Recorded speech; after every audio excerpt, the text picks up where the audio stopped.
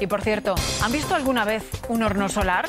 ¿Sabían que se puede lavar la ropa con nueces? Y hay mucho más. Manolo y Nuria nos van a demostrar que con pequeños detalles podemos tener una vida y una casa ecológica.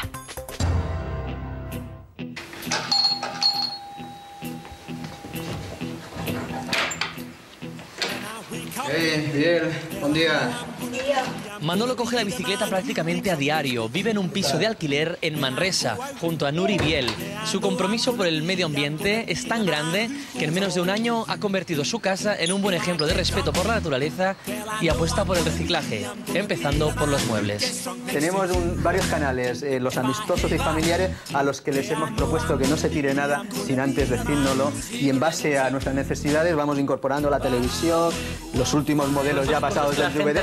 Bueno, o que ha rechazado por cambios de, de material. Nosotros le damos, le seguimos dando valor.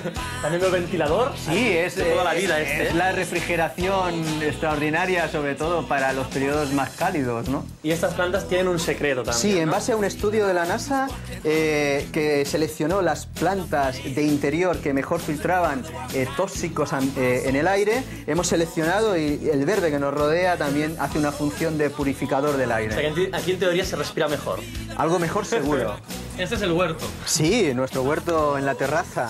Hemos plantado eh, sobre todo eh, zanahorias, variedades de lechuga, eh, alguna berenjena también. eh. Aquí el sol le toca cada día, ¿no? Sí, tenemos en verano 6-7 horas, en invierno tenemos 4 horas y media y con eso hacemos lo que podemos. Aprovecháis Pero del sol. Tenemos el privilegio de recibir la limpia energía del sol y aprovecharla cultivando y utilizándola en- con otros recursos, como veréis.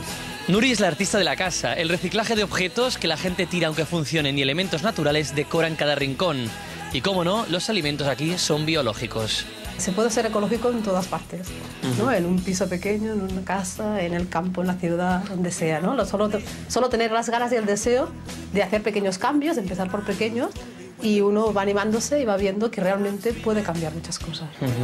¿Cómo está la cosa? Sí, ¿Cómo está? Vamos a ver cómo está. Mirar, ¿veis? Esto ya empieza a hervir. ¿Qué es arroz con...? Es arroz, pero es, es arroz integral. Entonces vamos a cerrar. Cerramos el gas primero ¿eh? y traspasamos, traspasamos a esta cesta y lo dejamos aquí media hora. Y esto ya calienta. Sí, sí, sí, esto va a... La comida. Exactamente. ¿Cuánto tiempo es como más una o especie de termo, ¿sabes? Y el tiempo será media hora. Ya ven, una manera de reducir el consumo de gas y ahorrar. Como Manolo, que coloca difusores en los grifos para reducir el caudal del agua. En tiempos de sequía, esto ayuda. Lo que estamos haciendo es esperar a que llegue el agua caliente. Ya sabemos todos que hay un, un intervalo y unos litros que se van al desagüe. Eh, lo que hemos hecho es, eh, con un pequeño recipiente, recogerla. A ver, son unos 7 litros, lo tengo calculado. Ya llega la caliente, perfecto. Eh, estupendo. Este agua la usamos para regar o para fregar. Nuri tiene tiempo para prepararnos unas magdalenas, pero atentos al paseillo que tiene que hacer para ir a dejarlas al horno. ¿Saben dónde está? En el balcón. Nuri, este es vuestro horno. Sí, este es nuestro rincón solar. Aquí es donde cocinamos. Ya ves que el espacio es muy pequeño, ¿no? Sí. Pero se aprovecha al máximo con, con esta, con esta madera. Y aquí podemos poner el horno y aprovechar este fantástico sol que tenemos aquí en España. ¿Hasta qué temperatura puede llegar esto? A unos 120. más ¿Y menos. placa de arriba? Y esta, sí, esto es el reflector. Eh, Esto ayuda más aún a coger todos los rayos del sol y concentrarlos dentro de la caja. Hay que tener un poco de paciencia, ¿no? Hombre, sí, no, no es lo mismo que un horno convencional, ¿no? Pero realmente con una hora, cuarto, hora y media tenemos unas magdalenas como las que estamos cocinando ahora, Y fantásticas. se puede cocinar de todo también Se aquí. puede cocinar de todo. Como no, aquí se recicla, no hace falta decirlo, pero los residuos orgánicos los utilizan de otra manera. Aquí echáis todo los residuos orgánicos, por ejemplo. Sí, todos los restos de, de la de- cocina, mondaduras, restos de verduras. Hay lombrices. Sí, hay una. Es nuestra factoría de, de humus, de fertilizante. Aquí tenemos las lombrices que se encargan de, una vez que la materia orgánica está eh, em, preparada, de asimilarla y convertirlas en, en humus de lombriz. Y en abono todo esto. Sí, sí, es el abono para, para nuestro balconcico. La casa está llena de pequeñas sorpresas, como este botijo en la entrada, que gracias a la arcilla mantiene el agua fría en su interior.